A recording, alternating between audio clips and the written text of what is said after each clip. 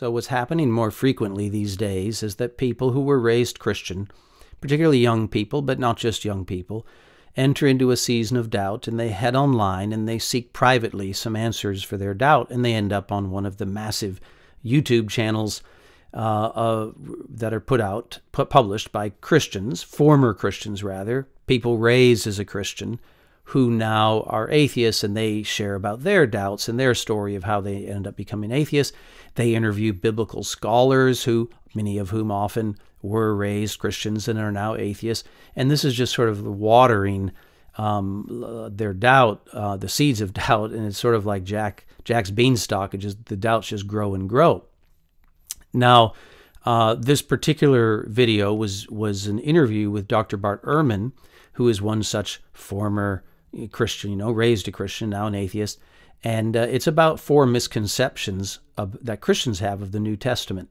And this video I'm doing here is just a selection of one of those misconceptions.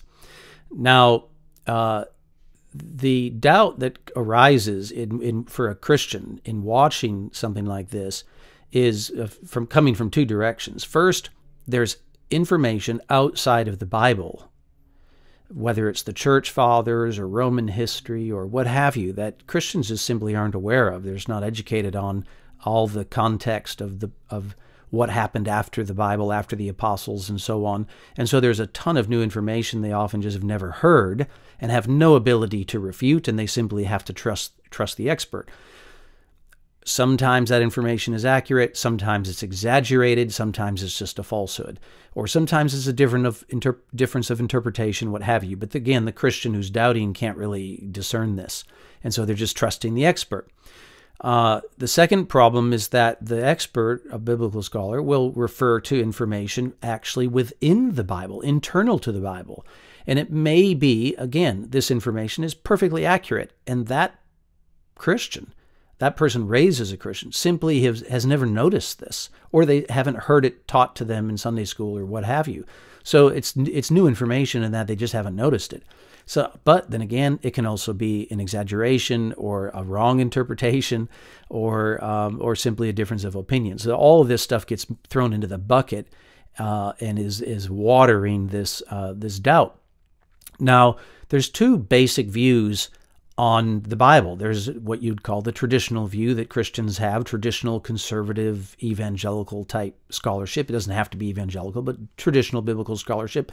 Things that Christians have believed for thousands of years, like John the Apostle wrote the Gospel of John, and, and so on. And then there's the critical scholarship, which is sort of the last 200 years or so worth of, of sort of extra skeptical kind of scholarship uh, toward these traditional views. Now, some of the traditional views are um, are, tr- are traditional only in, our, only in our own heads and actually haven't even been the traditional view across Christianity. Uh, but sometimes the traditional views aren't quite uh, right. And I don't mean, we're not talking about doctrines here. We're just talking about sort of the ways in which we view the Bible. And then some of the critical views are definitely not right. So uh, trying to sort through this can be can be very challenging. So you only have two options. One is you can just educate yourself more, both on the Bible, which is definitely a route you should follow uh, internally, just reading the Bible and taking it more seriously what it actually says.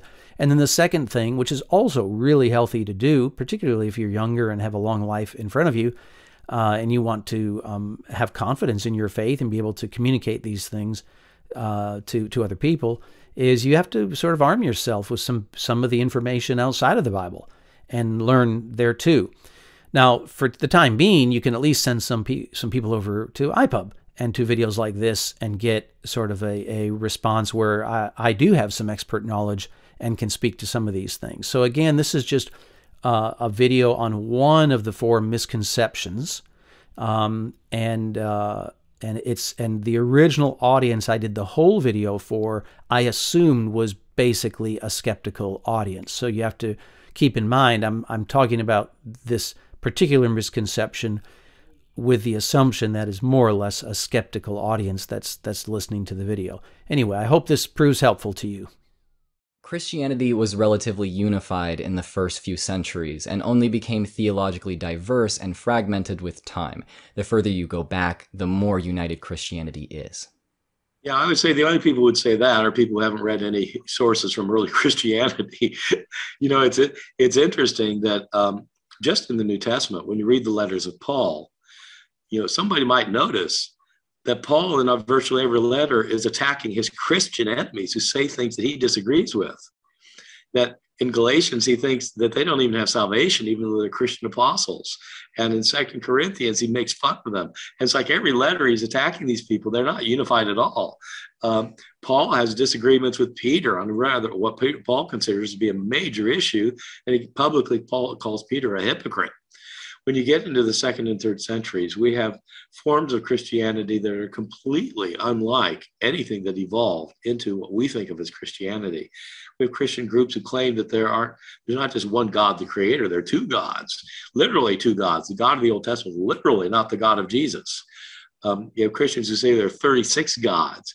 We know one Christian group, they're Christians. They call themselves Christians. They say they're followers of Jesus, who say there are 365 gods. And they, they claim that they're following the teachings of the apostles because they have writings that the apostles, Peter, John, James, etc., wrote. So uh, Christianity was hugely diverse in the second and third centuries.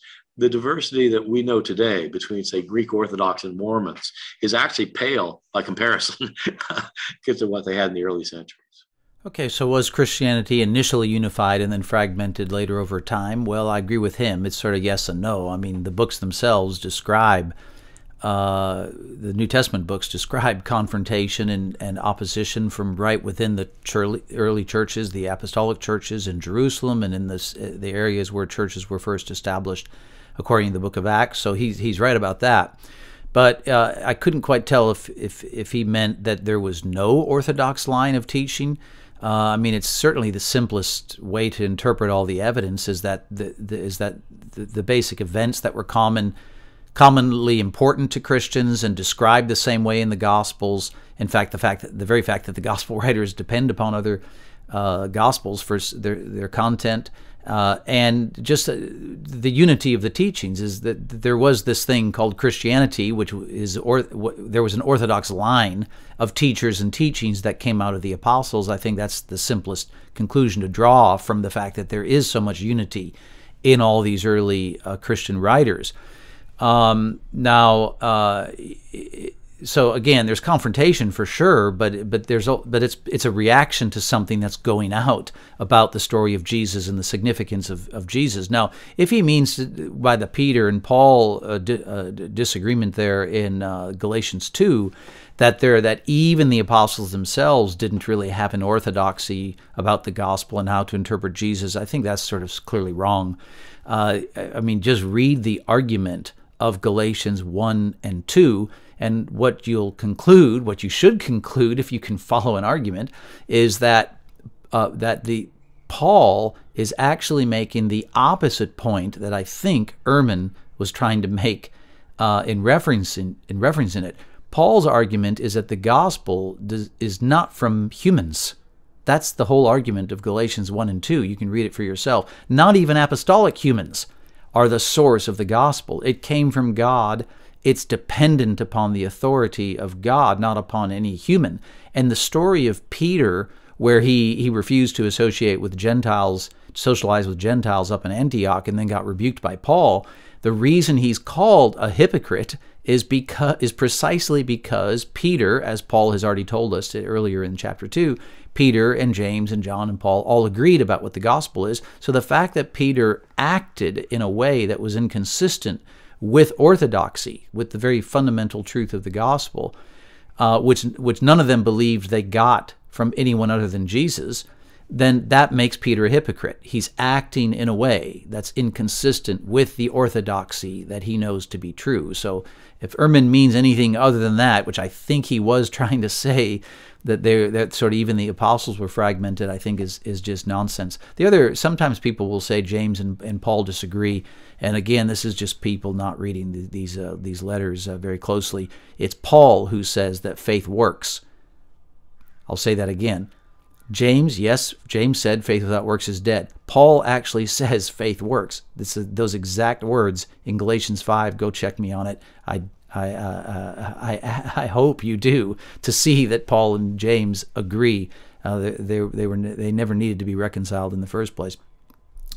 Uh, second century Christianity, for sure, there was greater fragmentation, absolutely. Uh, and um, the, but the second century writers connect that, that's why the second century writers connect themselves directly to apostles and to the succession of succession of leaders who came out of the apostles. There's lists you know of the people who were connected to the apostles. Polycarp was a disciple of john papias knew john irenaeus knew polycarp clement uh, ignatius you know they're, they're, they connect themselves to apostles or disciples or to each other.